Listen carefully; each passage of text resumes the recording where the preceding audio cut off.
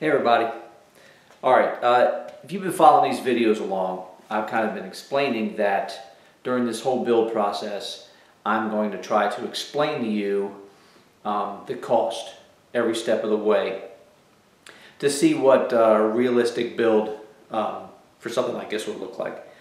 So uh, every once in a while, you're going to see this tally board and every time we go through a different phase, like the frame was uh, phase one, then we got into um, fixing the underbody, putting the frame back in, then we're going to go to suspension, then we're going to go to brakes, then we're going to move on to engine, transmission, uh, just the, the whole gambit. So as we go, each phase, I'll tally up the parts that I bought and uh, used on the vehicle, and then um, it goes on to the big board, uh, and we'll do at the end of every phase or the beginning of another, we'll do a quick tally and I'll let you know money-wise exactly where I'm at. So let's look real quick. Uh, for the um, for the underbody and for putting the frame back in, you've got uh, the poly bushings. There's the bolt kit. Well, the poly bushings I got from Summit. Um, the bolt kit came from Kirban, uh, which pretty good place. Uh, back before G bodies were even close to popular, uh, Kirban was the only place that you could really get parts from, and that was because of the Grand National. So thank you, Grand National, for giving the G body uh, the boost it needed. Because I think if it weren't for the Grand National and in a little part the Monte Carlo, uh, the performance market in this would have taken a little bit longer to get going. Um, so again, that's a good thing. So uh, back to the list. Also from Summit, Formula 5. If you remember, that's the, um, that's the bushing lube. Uh, elephant snot, don't touch that stuff. It's nasty, you'll never get it off. Uh, cross member, which came from G-Body Parts. Another good place. Thank you very much for you guys over there. Uh, a lot of good parts coming out of that place. A lot of sheet metal. Sheet metal alone, uh, I think, was a deterrent for some people not to get messing with these cars because you couldn't get quarter panels, you couldn't get inner fender wells. Um, couldn't get doors. All that stuff is available now. They've got the uh, every single piece is like three different components that make up the torque box in the back that you saw me put in on the one side that I got used from Toby P, G-Body uh, Forum, thank you. Um, so yeah, so there's a lot of sheet metal out there now. So if you were ever thinking about doing one of these cars, now is the time to get one. Before this market blows up, it's already showing uh, a rise uh, in used vehicles for these cars. Um, so uh, if you're thinking about this, get one now before it uh, becomes a costly endeavor for you. I keep getting sidetracked here. So we get back to it. Uh, cross member was G-Body Parts. Uh, torque box, Toby P, thank you very much. The chassis saver, that was from Magnet Paints. And um, I got three cans of the 2K chassis black, that was from Eastwood. So you add all these parts up, $723. That's what it cost in uh, all the, the parts that I needed to put it back together. And then we go over to the, the big total over here. So the car was 5845. Uh, doing the, uh, the frame restoration, 480 bucks. And then now we add the underbody to it, 723. Grand total, $7,048 so far. All right, so $7,048, that includes the price of buying the vehicle. Uh, good luck finding a 442, uh, even in the shape that mine was in, where you had, uh, I got rust in the quarters and I got some other issues uh, as far as, as um, sheet metal. Uh, good luck finding one for that price now. You're going to pay for a really decent 442 now about 10 grand um, and up. So, like I said, if you're interested in doing this, now is the time. Pull the trigger. Uh, there's no tomorrow. There's only today, right? So let's get that going. Okay, uh, let's move on to uh, other items. Uh, I've been on YouTube for a while, uh, but I haven't really taken it all too serious. It's just been kind of like a hobby thing for me. It's a place to show the restoration of my vehicle, um, give an opportunity to share with the community uh, some of the stuff I'm doing.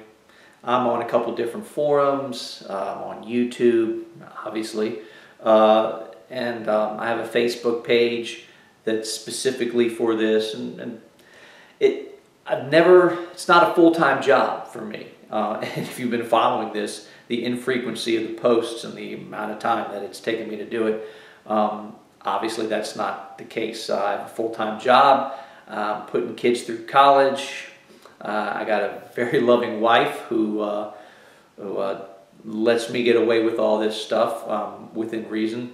So all that together, uh, I was just basically, I was, I never got past the newbie phase of being a YouTube guy. Um, I mean, look at me. I, do, do I look like a social media guy? No. Um, I, I, I, I'm on Facebook about once a month if I need to. I, I just, um, it's not me. But um, I'm learning.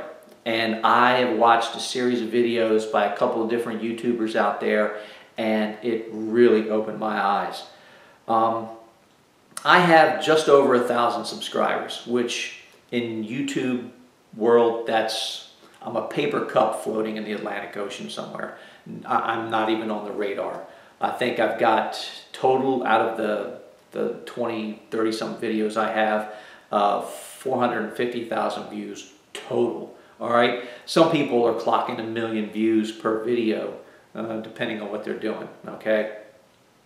Uh, so I, I watched a couple videos and man, it opened my eyes. I have a thousand something subscribers. I post a new video and after three weeks, 650 people have watched it. And I'm like, man, what am I doing wrong? Um, why aren't at least a thousand people that subscribed to me and said, hey, this is cool, I want to see more of this, go get at it. Uh, I'll watch the video when it shows up. That, why aren't they watching it?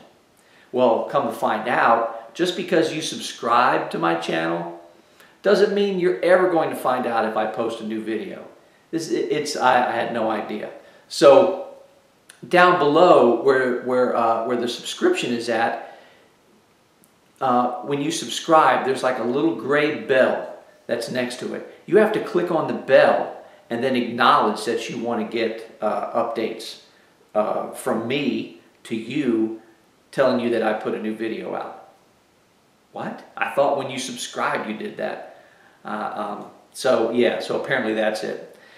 So if you haven't done that, if you're watching this and you're a subscriber, and uh, you haven't done that and you're not getting emails every time I uh, post a new video, which I'm not going to fill your inbox with, with the crap load of emails because I'm not posting on a, on a, like I'm not one of these guys that's posting twice a week, all right? I'm not going to fill your inbox up. So uh, don't be afraid to do that. And I would really appreciate it if you did. Um, yeah, so that was news to me. I, I, I was completely uh, surprised by the fact that my subscribers don't even know that uh, I'm posting new videos. Um, and then, from what I understand, is when you go in and you post, yeah, go ahead and give me emails. There is um, there's an app for your phone where you can get a notification on your phone.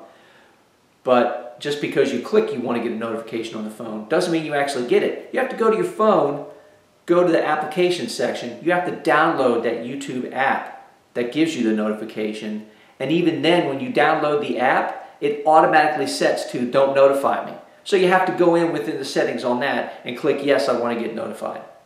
What? why, do, why do they have a subscription if you have to do four more things to actually find out if the guy you subscribe to posts a new video? I don't know. So, uh, watching a lot of videos, I got a lot of insight on how to grow your YouTube channel, which uh, you know, this isn't really income for me per se, but I'm getting more interested in it and I'm starting to look at it more from um, a, a, gaming pers uh, perspective where I'm actually trying to get something done um, and trying to grow this. Um, we'll see. I don't know. I, I, it's not like anything hinges on it. I'm just going to give it a shot and, uh, and see if I can't break into the market a little bit more than what I'm at. So look forward to that in some manner. I don't know. Uh, some guys are doing email lists where um, where they're compiling uh, people's emails and then they just send out their own email. Hey, uh, go to YouTube. We just posted a new video. You might like it. Uh, so I'm going to play around with a couple different things. I'm also, unfortunately, going to have to go on Facebook a little bit more than I do. So I'm in the process right now of um, basically catching my Facebook page up with my YouTube page. I got a bunch of videos on YouTube. Um, and then you go over to G-Body Forum and I post a bunch of pics on there of the build. Um, so I'm going to try to use Facebook and combine that into one place where everything is at. Videos and pics uh, as I go through stuff like this. Um, and then I'm going to try, it takes a while to load a video on the, um, on Facebook, just like it does on YouTube, I guess. So um, I'm in the process of doing that. I'm going to try to post, post, post pics, slap a video on, pics, pics, pics, video, do some interaction. Um, so if you go to my uh, go to my go to my Facebook channel, um, go to my Facebook page, uh, post a comment. Let me know. Give me some feedback. What do you want to see? What am I not doing that you want to see? Because honestly, uh, what's the point of me doing this if no one out there is entertained or even cares? So I want to try. I'm going to build the car whether you're here or not. That's that's the simple truth. I'm just doing this because right now it's fun and I'm getting some feedback from guys on the forum and on uh, YouTube and they're kind of digging what I'm doing. I did a, a five-part series on rebuilding uh, a Saginaw 800 steering box and that thing for, for me, for my channel anyway, that blew up. People love that. So I think I'm going to get into doing a couple things. I'm, I'm gonna I'm gonna rebuild the, uh, the power steering uh, pump. Um, so we'll do a video on that. And anytime uh, I've, I've, got, uh, if you've ever had a G-body or any uh, GM vehicle, like in the 80s, 90s, and it has the tilt steering wheel, there are, there's a set of bolts deep down in the middle of the steering wheel that hold the top part of the column where the tilt is at to the bottom part of the column. Excuse me. And those things always go loose for some reason. So you always get that shaky wheel. So I'm going to go in and tear down the steering column. To get to those bolts, you take them out one at a time, Loctite, put them back in, cinch them down, put the thing back together. So I think probably people will be interested in that because it's something that a lot of you guys out there have probably experienced at some point or another.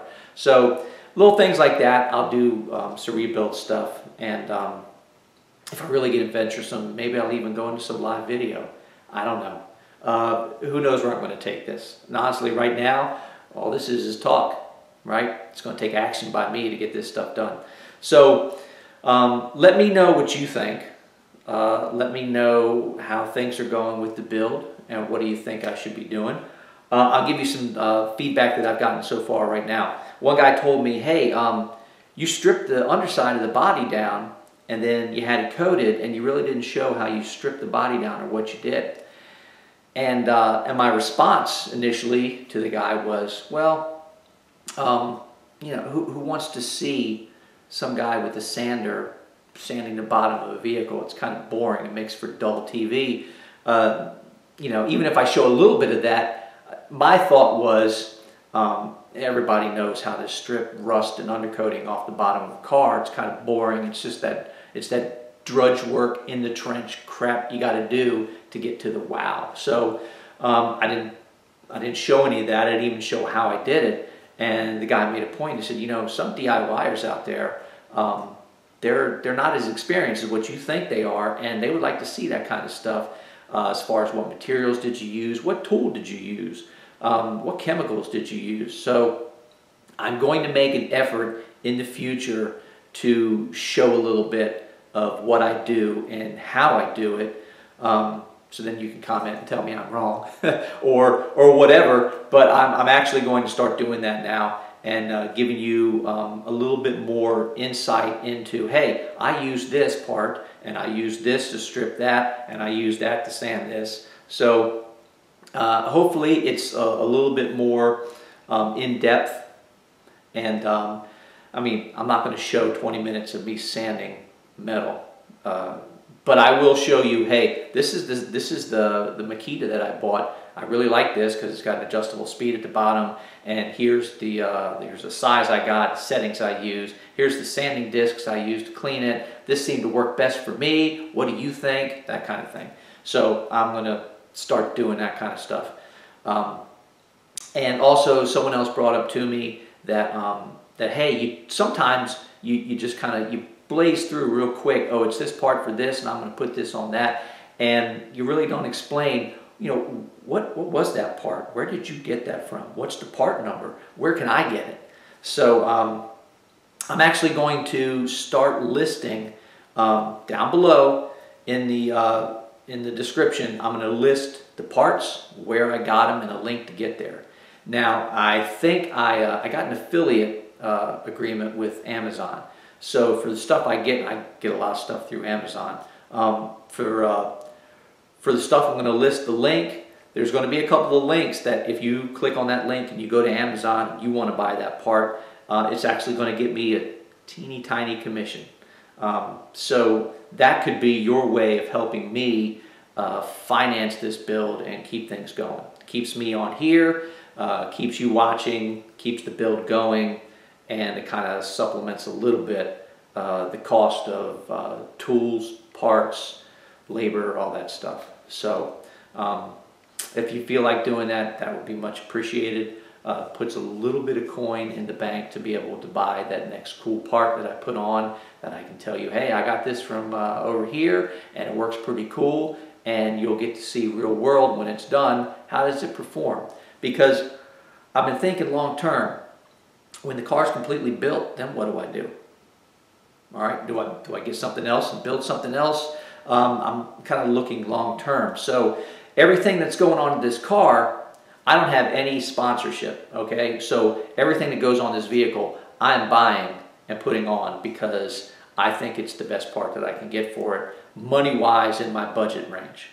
So um, once the car's together, uh, I'm going to start doing some updates, some real-world uh, test of, uh, of the parts that are on there. So if something fails, you're going to know. If something works great, you're going to know. Uh, and I plan to take it out to some events, do, do uh, some car shows uh, once it's done, some other things like that. So um, I'm thinking of ways to kind of continue this on afterwards. And then depending on how well this goes, maybe I do a couple more upgrades. Uh, you know what, when I put the car together, I could only afford to do this. But now I'm in a position where I'm going to go back and I'm going to put something different on it because now I've got the, the coin to do it. I don't know. So anyway, uh, enough of me talking. So this, uh, this is me getting a, a, bunch of crap off my chest. And um, when we come back, the next video will be uh, suspension, front suspension. And then the video after that will be front brakes. Uh, and then I'll try to do them. I don't want to make gigantic videos that take up uh, a, a, lot of your time. I want to do them in little chunks that uh, you can sit down, go through real quick. Um, so yeah, we'll do suspension, upper lower control arms, spindles, that kind of stuff. Then uh, part two of that will be uh, the front brakes. And then we'll go to the rear suspension, rear brakes, and then uh, we'll get on to the steering gear and, and all that. And, and we'll just keep uh, plugging forward until it's done. Anyway, uh, this is Hutch. Thanks for listening. uh, I hope you're still here listening to the end of this. And uh, when I come back, I promise we're actually going to do some work and you won't have to listen to me run my mouth uh, doing nothing. So anyway, thanks for being here. Thanks for subscribing. Thanks for uh, clicking on the bell so you actually get a notification. Um, if, you, uh, if you're checking out uh, my, uh, my website, going to Facebook, thank you for that. Um, I've got a t-shirt shop that's also up in the link right next, uh, right next to uh, the, the Facebook and, and the, the website. So um, I got a bunch of G-Body t-shirts, some, some other interesting stuff. Visit the t-shirt shop. That helps out quite a bit as well. It, uh, it helps to finance the build uh, just a little bit. So, um, and it gets you a shirt. So who, who doesn't like that? Everyone wins, right? So if you find something you like, pick up a shirt. That helps me out. Uh, and, um, and post something back to me saying, hey, I got your shirt. Looks cool. I love it. All right. I dig that kind of stuff. Um, so anyway, again, uh, I'm done talking. So appreciate you being here. Uh, look forward to seeing you back. Take it easy, guys.